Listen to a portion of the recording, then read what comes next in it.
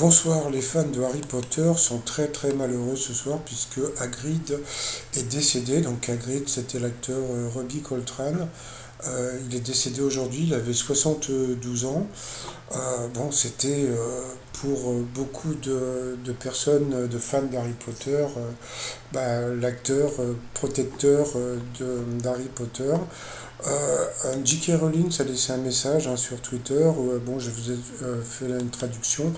Je ne connaîtrai plus jamais quelqu'un comme Robbie. Il était un talent incroyable, incomplet. J'ai eu plus de chances de le connaître, de travailler avec lui, de rire avec lui. J'envoie mon amour et mes plus sincères condoléances à sa famille, surtout à ses amis. Donc il y a beaucoup, beaucoup de messages pour, euh, pour lui sur Internet. Et euh, il n'y a pas très longtemps, il y a eu un, un numéro spécial sur Harry Potter.